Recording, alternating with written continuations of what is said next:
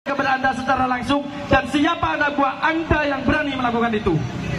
Dan saya harap ketegasan Anda sebagai kepala dinas. Yang kedua, Anda Dinas Perindustrian dan Dagang 2022 kalau tidak salah 2022 melakukan gebiar batik yang mana tujuannya untuk mempromosikan batik di kabupaten ini supaya go internasional. Dan ternyata persoalan itu bermasalah. Dan ini seharusnya juga menjadi evaluasi dari Anda. Bukan malah Anda menutup-nutupi persoalan ini. Kita juga sudah pernah mendatangi Polres Kabupaten Pamekasan untuk menanyakan persoalan itu. Ternyata apa yang mereka sampaikan? Untuk mendapatkan dokumen-dokumennya saja kita dipersulit.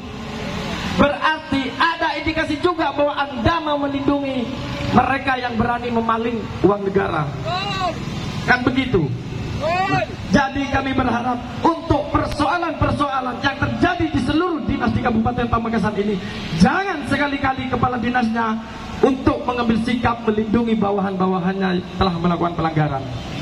Sampai sekarang gebiar batik itu tidak selesai sudah berapa tahun. Yang menjadi persoalan dari pihak kepolisian saja, pihak kepolisian selaku aparat penegak hukum untuk mendapatkan dokumennya saja itu agak kesulitan, Pak. Eh beri bi gadis Jan.